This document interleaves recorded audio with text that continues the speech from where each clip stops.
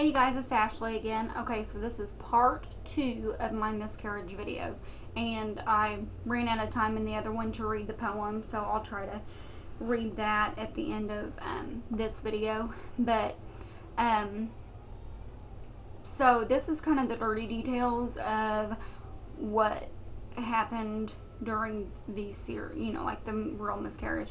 I found out that Thursday that I had had the miscarriage and I was like so distraught and I mean like I was bawling in the office. I couldn't even talk hardly. You know my first question was, well when can we try again? I know that's awful, but it was. And um you know, she said I needed to make a decision. She'd give me a few days to think out think it over. Um the baby had passed away at 6 weeks one day. So I had what they called a missed miscarriage and those are quite rare. Um, not very many people have that kind.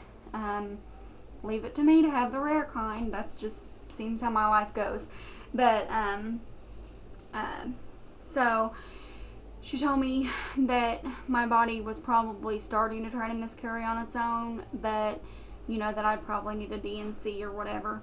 Um, so I went home and I mean I cried so much and um, I think once I faced uh, the realization that I lost the baby and stuff, um, exactly 24 hours after I had found out about the miscarriage, um, I started a natural miscarriage at home. And I was actually in this room, and this used to be my stamp room. And I got up from the table to walk into the living room to tell Steven something. Um, and he had stayed home that day to help me that Friday um, to help me through the miscarriage, and you know we were just having a hard time with it.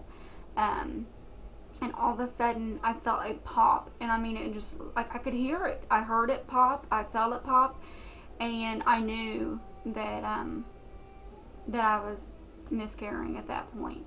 Um, and that started at 11, like 11:30 that day, um, and it went until about 6 p.m.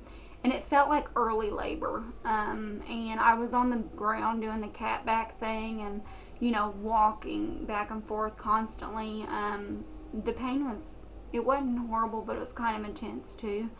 Um, and you know tons of bleeding and um, all that. But and I think I know when I passed the baby um, that's I will never forget that. And it's something that anybody that goes through that and you think you know, it you'll never it'll never leave you. It's hard. It's something it's hard to talk about. Um, but so but everything was fine and we waited a couple months to start trying. Um, we started trying again in November. Um, I didn't get pregnant in November, but I got pregnant in December. So it took us two months the second time.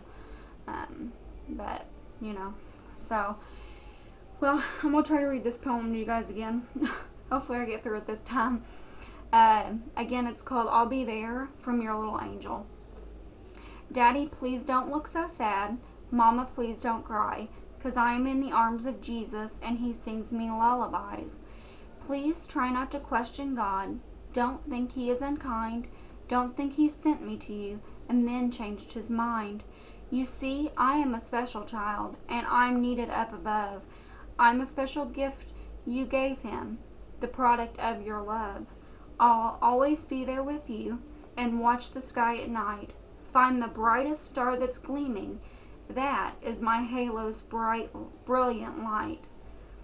You'll see me in the morning frost, the mist, your window's pane. That's me in the summer showers I'll be dancing in the rain. When you feel a little breeze from a gentle wind that blows, that's me. I'll be there, planting a kiss on your nose.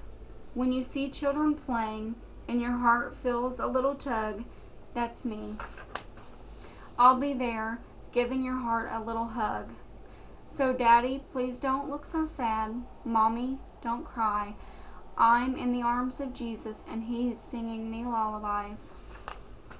So I loved that poem. It helped me get through it.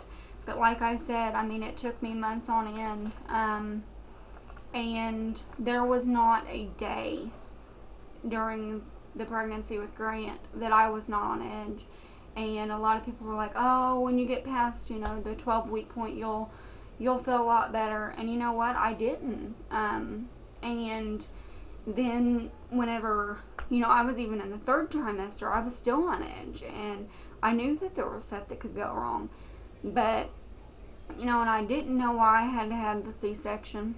Um, but then come to find out, I didn't know it until I watched the labor video that the cord was around his neck twice. Um, it could have killed him if I would have pushed him out, you know, and you know what he came four weeks early. I didn't know why that either but if the cord was that tight already then it could have killed him in the womb you know? I mean you just you don't know why things happen. But i mean you know i know that this the baby that i lost is up in heaven with god and um i still think about that baby and you know all that. But if there are any questions you guys have or you want to talk with me about your miscarriage or anything you've been through or you know not being able to try to conceive and you know all that you know i mean it's very hard and a lot of people don't realize you know that there's a lot of people going through this. So if you guys need anything just feel free to um, email me or you know message me or whatever. So i'll talk to you guys later. Bye